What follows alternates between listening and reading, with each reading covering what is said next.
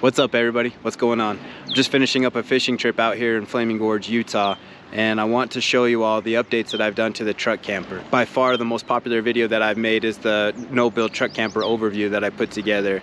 I think people are looking for something very simplistic that they can put together, take apart, something very modular and easy to use. And that was my whole intention by putting that video together was just to show you that the barrier to entry to truck camping is very small. With very limited equipment, you can turn your pickup into a truck camper, even if it's a five and a half foot truck bed. Now I've been using this for the last three and a half months and I've made a few updates to the camper, changed things around a little bit, added a few things. So today I'm gonna give you just a little bit of an update and walk through what I've done. Now I'm still using the soft topper with the DAC tent extension. The extension is because I only have a five and a half foot truck bed. So that gives me the ability to lay down the tailgate and have another foot and a half of space back there. I love the soft topper. I love how versatile it is. It gives us so many options when we're out camping.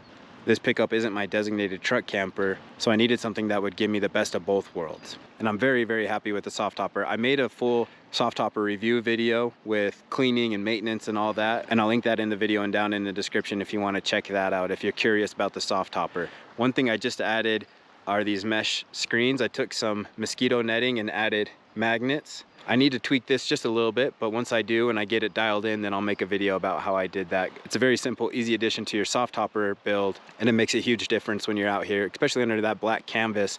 It gets really hot out here in the direct sunlight. So having some airflow through there and keeping the bugs out is huge.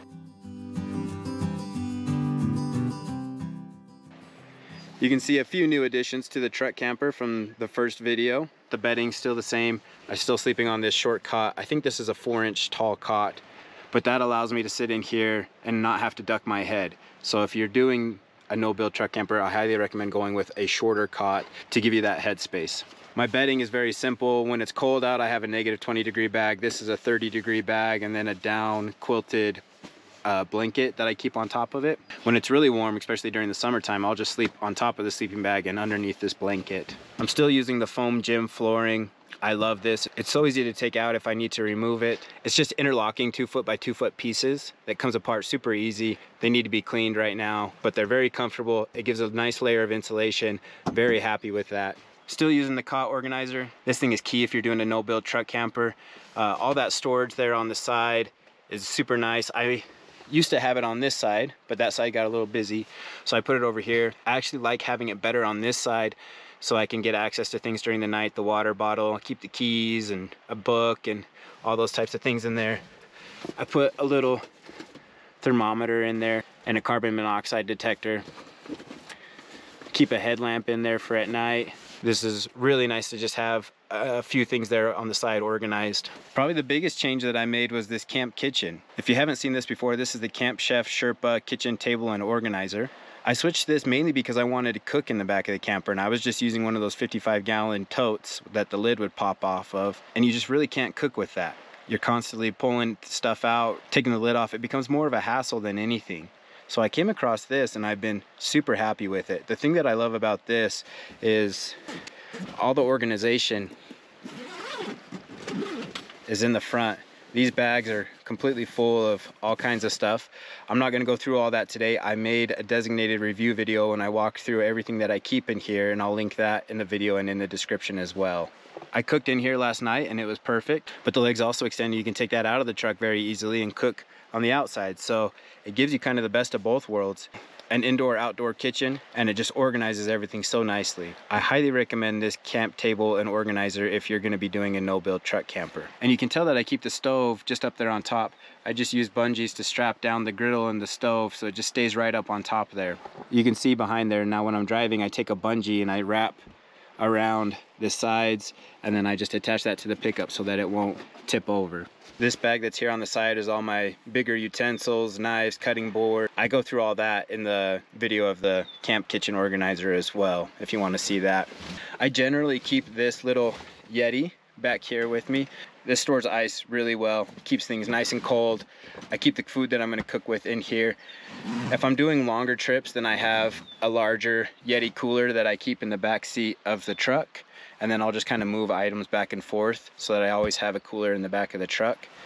I generally will throw my clothes just in this bag. This is a really nice organized bag to keep all my clothing in. If I'm doing longer trips, then I do have some storage bins that I'll put underneath the cot and shove underneath there to keep extra clothes in. But mainly for my overnight trips, uh, short-term trips, then I just throw my clothes in that bag. I still use this little fan. This little guy is awesome. Definitely a must in the summertime to keep that cold air flowing. This one's really nice with the soft topper because it just has that clip and you can stick that anywhere and move that all the way around. This is a clip to hold a tablet. So generally when I'm going to go to bed, I'll turn a show on or something and relax here, laying down with that tablet, hold it right out in front of me. Works awesome. I love this little one Tigris table. It comes in handy a ton. Last night I sat in here and cooked and used this as my surface for my cutting board. Uh, then I ate in here and then I actually came in here and tied some flies later on. So this table it just serves a ton of purposes. It's really nice because if I want to go outside and eat or do anything outside, I just pick it up and take it right out there. It's really easy. The nice thing about it is it has this basket underneath there. This is a bag that has all the Jackery cables in there, phone charger, all that kind of stuff. And then I keep the Jackery right down there. So I have a power source that I can plug everything into generally I'll charge my iPhone, the GoPros, and now I have a light source plugged into it.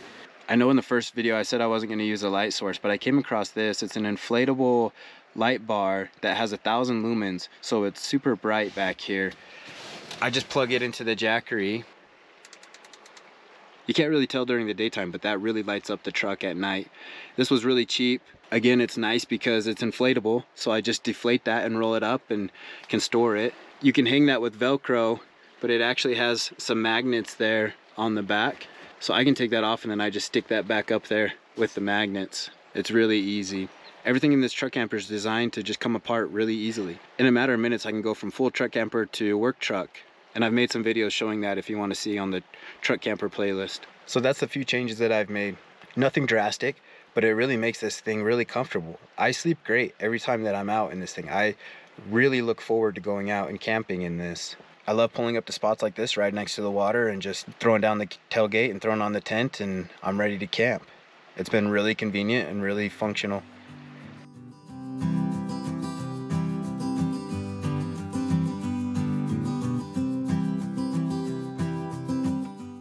So there you go everybody. Those are the changes that I've made. Again, it's very simple, very versatile, but very comfortable at the same time. I know there's a lot of people like myself that aren't full-time truck campers or don't have the time or the resources to put together a full truck camper build. Now there's a few extra steps that are involved, but it's very comfortable. It's very doable and still gives you that option to truck camp without some huge elaborate setup. For me, in the stage that I'm at in my life right now, this is perfect.